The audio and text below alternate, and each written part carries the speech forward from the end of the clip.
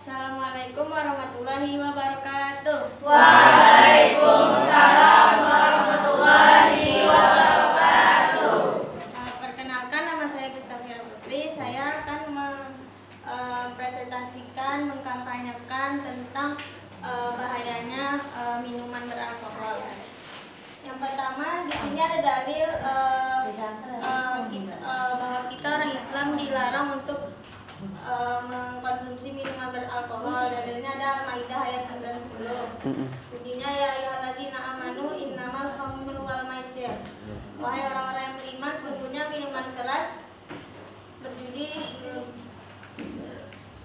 berkurban untuk berhala mengundi nasib eh, itu perbuatan keji dan termasuk perbuatan setan. Jadi Allah menyuruh kita untuk menjauhi min- minuman keras. Tuh di sini ada beberapa fakta tentang alkohol. Yang pertama itu eh, bahayanya alkohol. Jadi alkohol itu bisa merusak otak sehingga eh, ber- berdampak pada gangguan memori. Jadi orang-orang yang suka minum alkohol itu eh, ingatannya bisa eh, walaupun dia tidak eh, nampak langsung dampaknya tapi itu tanpa disadari sedikit demi sedikit merusak otak kita.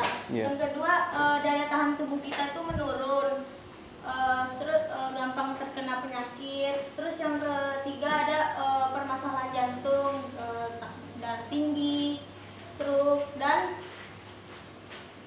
aritmia. Itu yang keempat ada masalah disfungsi organ hati seperti perlemakan hati, hepatitis, sirosis, dan kanker hati. Yang keempat ada pankreatitis dan yang terakhir ada peningkatan resiko kanker. Jadi orang-orang yang eh, pecandu alkohol itu ba- resiko untuk kankernya itu lebih tinggi.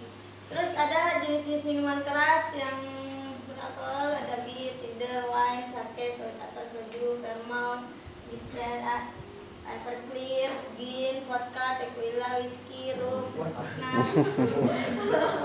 Terus alasan alkohol dilarang karena eh, selain dari bahaya tadi, alasan alkohol dilarang tuh alkohol ini bisa meningkatkan, menyebabkan terjadinya kekerasan dalam rumah tangga karena nanti dia Hmm. lagi mabuk, dia nggak sadar pulang mukul istrinya atau gimana. Iya. Terus menghambur-hamburkan uang karena kita membeli eh, suatu barang untuk merusak tubuh kita. Hmm. Terus membahayakan diri sendiri. Terus yang eh, itu ada dilarang Allah. Terus yang terakhir da- eh, orang yang eh, pernah mengkonsumsi atau mencoba alkohol itu jasadnya haram memasuki surga. Ya, Terus pandangan Islam tentang eh, Islam itu melarang umatnya untuk mengkonsumsi alkohol. Itu tuh ayat-ayatnya tuh sebenarnya nggak Al-Maidah tadi ada ada An-Nahl ayat 67, Hmm. An-Nisa ayat 43 dan tadi Al-Maidah tadi dan beberapa hadis Rasulullah. Terus eh, karena sifatnya berbahaya bagi tubuh manusia, maka Allah melarangnya dan para peminumnya tuh waktu zaman Rasulullah tuh dicambuk 40 kali. Kalau di zaman Umar bin Khattab tuh orang-orang yang minum tuh dicambuk 80 kali. Hmm. Terus banyaknya pecandu alkohol sampai saat ini di Indonesia menurut data ada 62,5 persen konsumsi alkohol itu nggak tercatat. Terus 6,5 persennya tuh peminum berat di eh, rentang usia 15 tahun. Hmm. Terus 0,8-nya 0,8 persennya tuh eh, penya- termasuk dalam penyalahgunaan narkoba. Hmm. Terus kalau di dunia data dari WHO memperkirakan jumlah pencandu pencandu alkohol di seluruh dunia saat ini adalah eh, kurang lebih 64 juta orang.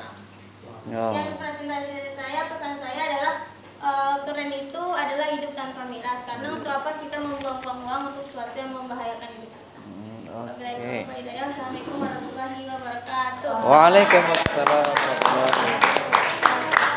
Bismillahirrahmanirrahim. Masya Allah. Masya Allah. Syukran jazakillah khairan. Eh, Vira.